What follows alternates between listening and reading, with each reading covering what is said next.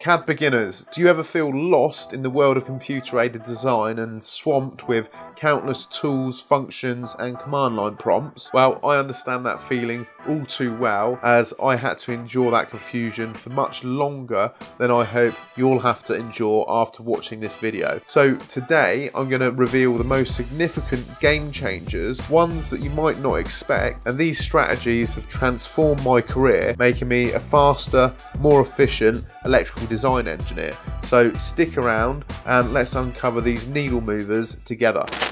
So the first thing I'd recommend is create your own library or selection bins within the model. So what do I mean by that? So this is from a recent uh, electrical design project that I did. And what I mean, firstly, is what I like to do is have all of my components in the model. And this model I will keep as kind of a template so what I'll probably do on my next project, I will do a save as, keep all of my library and bins and whatnot, which we come to in a second, and just delete out the previous project and then just start again, but keeping my bins and my library within the model. And the reason for that is it's just far quicker just to have them out in the in the model where you can just visually see everything. Takes a bit of time to set up, but it's totally worth it. Where you can just see all your commonly used components. It's far quicker than creating blocks and inserting blocks from components that you've made, or even searching through the built-in libraries that come with these CAD softwares. So that's the library. Now what I mean by bins, and I don't tend to use these as much anymore, but you can have bins, like virtual bins like this. For example, my panel layout parts. So terminal blocks that I use, trunking sizes, door isolators, contactors, PLC modules, etc. And then I've got another bin over here, which is for all my door plates, similar sort of thing. For all my panel enclosure sizes as well. So again, this is just something that builds up within the model that we can just go back to and use over and over again. Okay, so on to my second tip now, and this is the difference between the model page, which we're on at the moment, and layout pages. So probably for the first year of using CAD, I never used the layout pages, which you can see down here, page 1 through to 16. I just did everything within the model. And there's not necessarily anything wrong with that, but I've just found it's much cleaner, much nicer to view the pages that are going to be printed using the layout pages, which you can see here. And what you can do in these layout pages is you can double click in the viewport. And what this is, is it's basically looking into your model and then you can drag things around as suits. You can create a template layout as I've done here, which is separated from the viewport. And yeah, like I said, it's just much cleaner, nicer way to sort of view things that you've drawn in the model to then sort of see what that's going to look like on the page that you're going to be printing out or turning into a PDF. So third tip guys, this is using the mouse in the correct way and specifically mouse selection. So what I mean is clicking and dragging the mouse from top left to bottom right or clicking and dragging the mouse from bottom right to top left. And the way it behaves in terms of selecting components is different based on which way you drag the mouse. So let's have a look at that. So let's focus on this little section here. What I want to do is select this section here and move it along a little bit. So what I'm doing now, dragging from the top left to the bottom right, is the right way to do this. So I've clicked here, I'm dragging, you can see that it's gone down here, it's selected everything, now I'm dragging it to the right, and I'm releasing, and that's selected all the components that I wanted.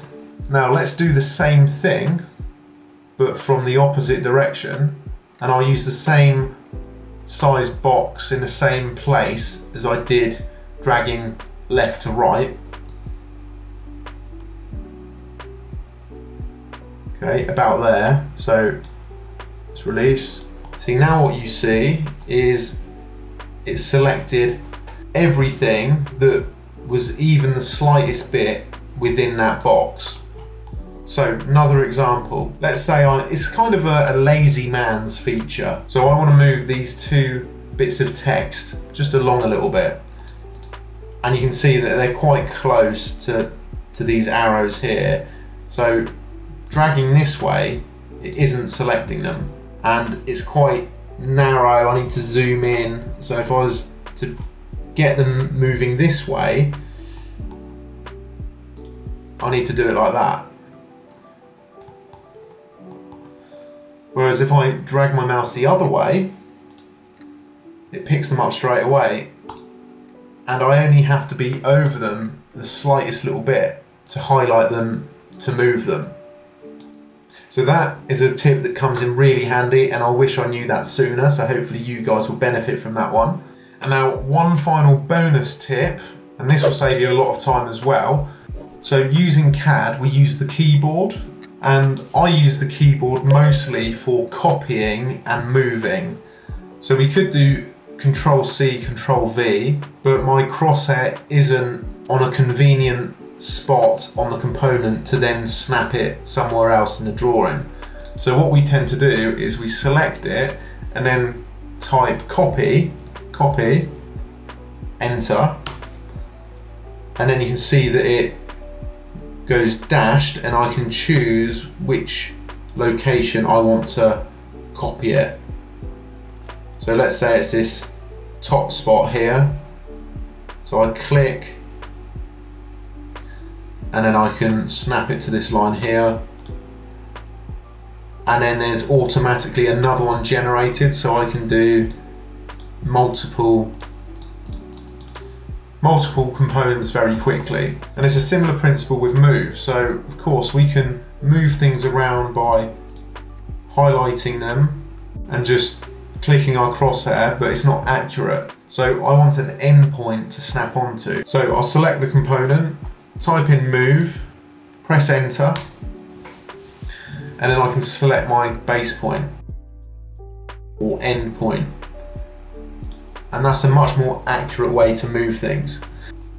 Anyway, the point I'm getting at, and it may seem insignificant, but continually having to type in move or copy, it does add up. And I would much rather just have to write C or M.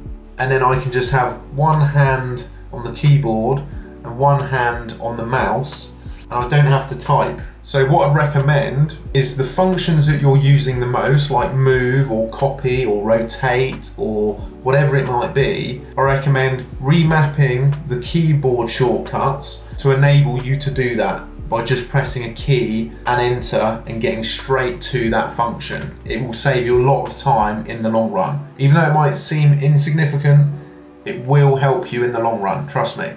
Now guys, just as I was leaving CAD to get into the rest of the video, I just had a thought. I thought it'd be really good and valuable to you guys if I created you a basic template to download and use for yourselves. So what I've done is I've created you a quick template and you can download that through the link in the description and this will give you the starting point to start doing some drawings of your own. So you've got some template pages there in the model and you've got a simple layout page as well. All I ask guys is a quick like of this video, it'd be really appreciated. Now let's get back into the rest of the video. Now I've been using CAD software for years and I've come to realise that actually I only use about 20% of its full capabilities and I think if people knew that was the case, that you only need about 20% to be competent with it, I think more people would feel less overwhelmed or fearful about getting started and would start utilising and benefiting from it much sooner. So I'm just going to tell you a quick story about when I got started using CAD and I would have got up to speed much quicker had I got some external help. And I did do some research into the coaching and training that was available, but felt that they didn't offer quite what I was looking for. So either they were too long, like some were three days in person, and hardly any online options. They were too advanced, so I didn't need to use CAD to the same level as an architect or M&E designer would need, and I think they were too expensive. And not necessarily the monetary cost of the training, but more the time commitment, being that some of them were three days in person, which obviously includes travel time and travel costs. And if they were going to be too advanced or not focusing on the things that I was interested in, the essentials, then I just felt it wasn't something I was prepared to invest my time or money into. What I ultimately wanted was training that was short, to the point, without any fluff and showed me the 20% that I'd be using 80% of the time. You know, that classic Pareto principle. Anyway, that right program wasn't available at the time, so I continued on struggling on my own, spent a lot of time teaching myself and did eventually get there. But I knew others would be in a similar position to me at some point in their journey so what I decided to do is build something myself, which I'll give you a quick rundown on now. So the training is called CAD Crash Course. It's accessible online and it has an app that you can download to view everything from your phone wherever you are, whenever you need. It teaches you that essential 20% that you'll be using 80 to 90% of the time. It's quick, it's to the point, and it's without any fluff. Like time is very important to me, so I felt I needed to be respectful of yours too. And finally, I think it's very reasonably priced, especially in terms of your time investment needed to get up to speed and feel confident using the software. So if you'd like to learn more about CAD Crash Course, there's a link in the description. And if you'd like to watch me designing and building the start of an electrical controls project using CAD, I'd recommend watching this video here.